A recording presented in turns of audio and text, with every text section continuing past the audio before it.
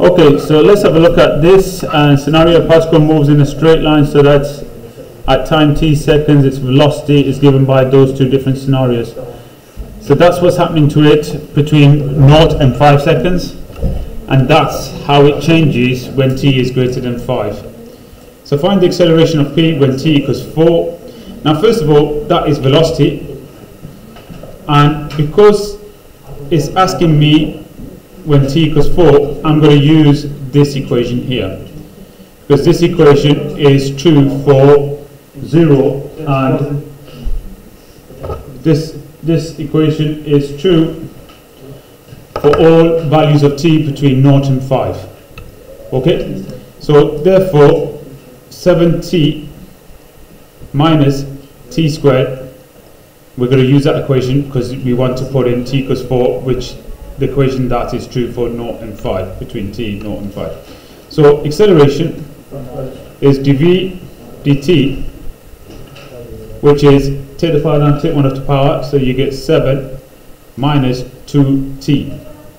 So the acceleration when t is 4 is going to be 7 minus 2 times 4 a equals 7 minus 8 so the acceleration is minus 1 meters per second per second. Now, that is a deceleration, but we say acceleration is negative. That's fine.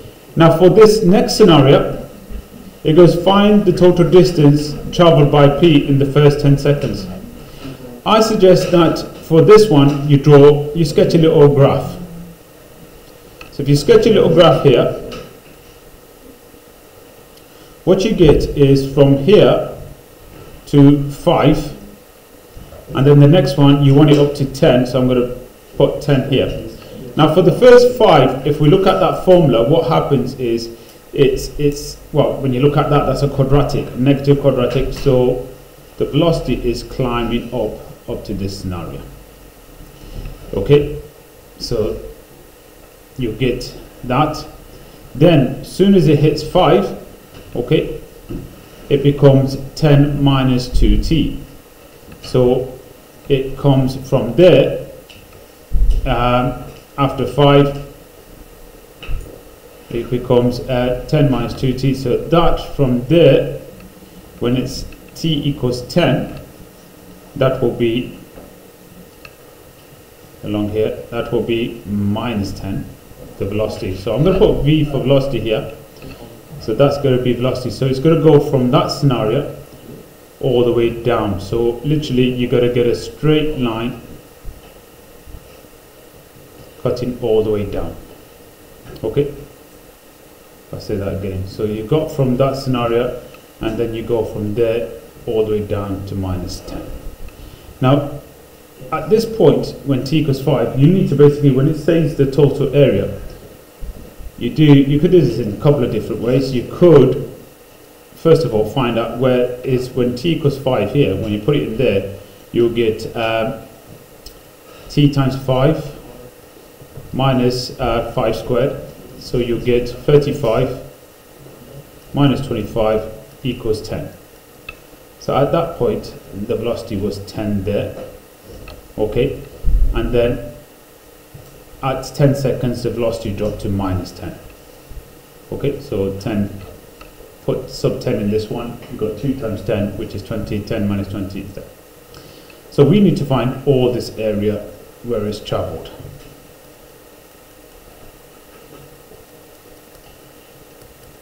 Now that's why it says distance so you just got to be that little bit careful. Okay. And also it's best if we could find out where that point hits there. I could do this two scenarios, but I'm going to cut it up in two ones. Now, first of all, the first one, I want you to use your calculator. So I want you to use your integration button between 5 and 0 and integrate uh, 7t minus t squared um, respect to t. So if you put that in your calculator, I'll wait for a second while you do that and then I'll run through this. I need to find where this point is crossing through. Okay, so need to find out when this that equal to zero. Uh,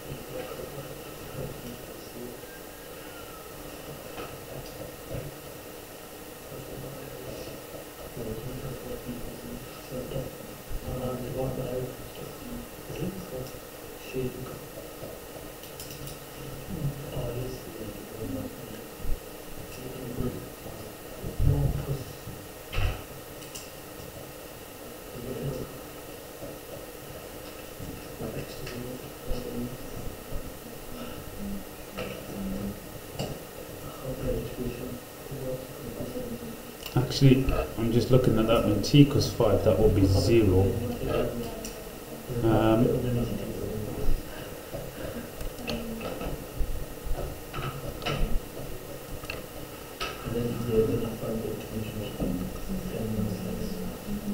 goes to 10. When t equals 5, that will be 0. And then when t equals 10, that will be 20.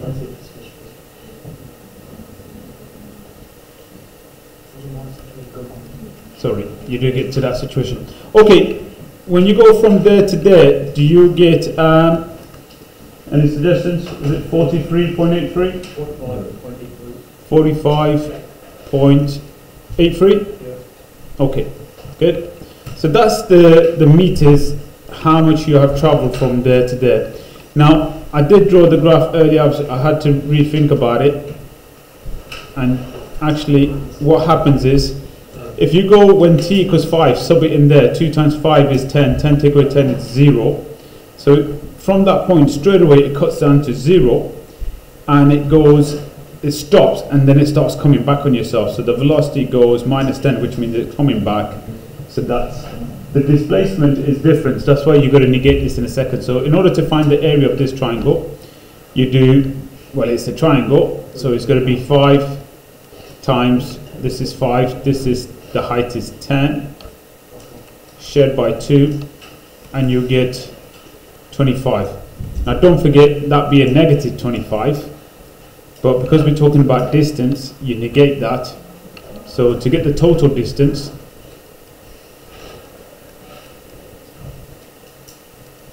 it's going to be 45.83, add the 25, and you get uh, 60, 70.83 meters, or you can just put that to 70.8 meters. 70.8 meters is the total distance P travels in the first 10 seconds.